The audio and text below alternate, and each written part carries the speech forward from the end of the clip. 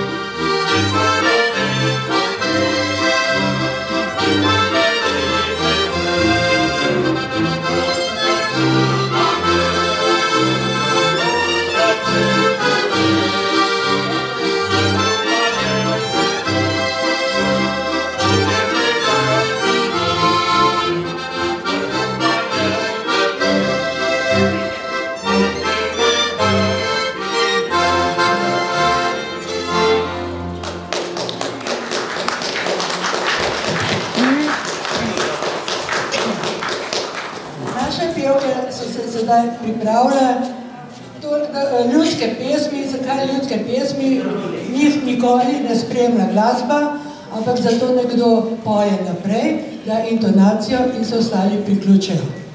In naše pevke nam bojo zapele Na gori je moj dom, in kje spa ptička, pesemčina.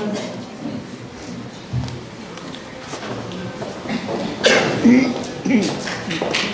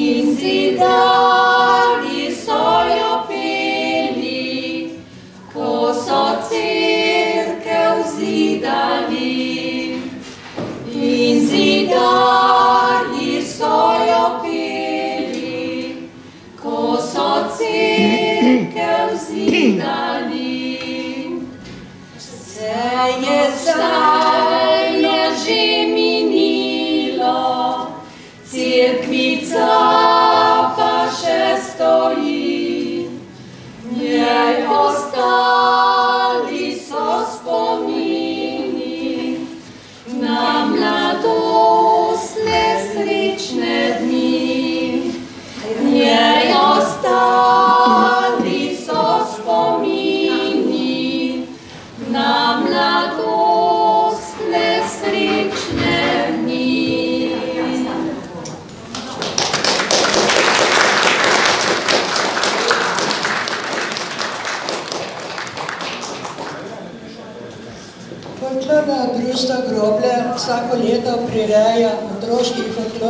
Festival, ki bo letos 15. aprila v Grobljah. Je organizator tudi gala mednarodnega folklornega večera eh, v Grobljah kot nekoč, ki je v športni dvorani, bo letos v soboto 9. septembra in naslednji dan v nedeljo imamo romanje k sveti Notburgi v Grobljah.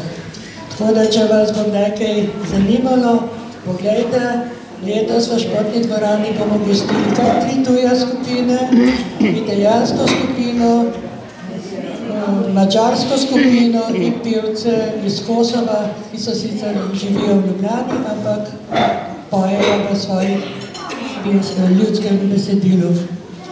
Naši godci pa bojo zdaj zagrali še ene dve naši lepi slovenski No, mi pa ne gremo na nivo, ampak gremo kar na roblek. Thank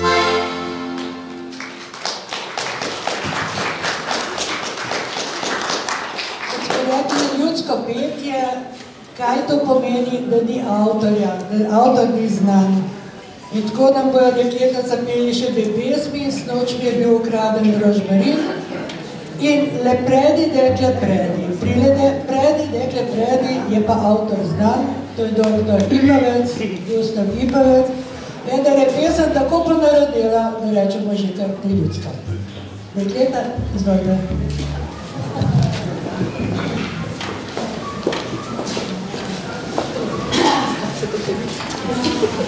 Sinoč mi je bil kraden rožmarin, po celi vasi sem šla za njim, po celi vasi za njim sem šla, da nazaj dobila bi ga. Pa srečala sem fantiča, za rožmarin sem ga terjala, nazaj,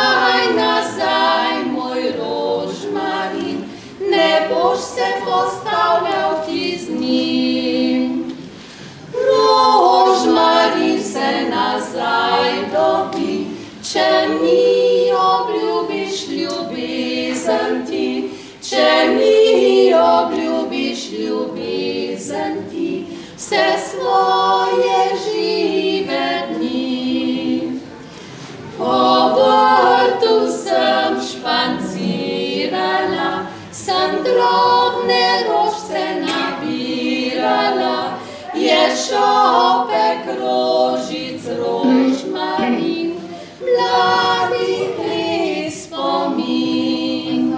Je šopek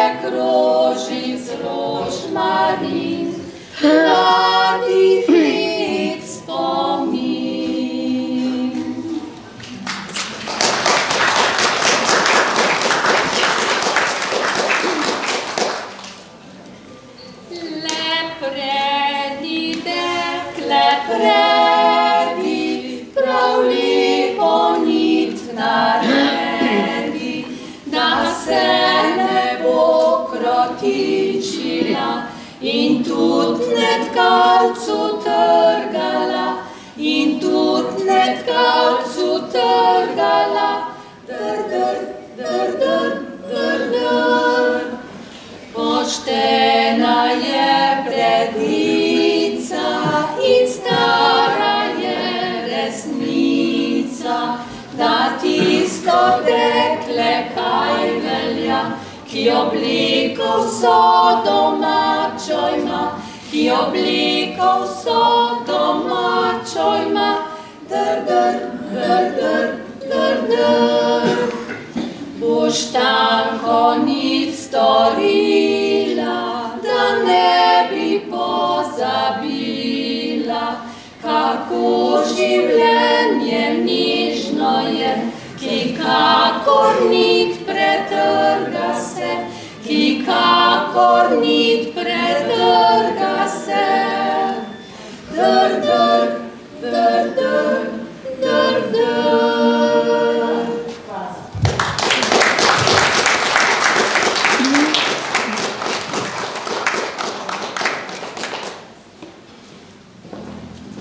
Opozorili so me, da me nekateri niso slišali, meni je žal, ampak jaz razen, da govorim, ne poznam tehnike, tako da žal mi je, če niste vsi slišali.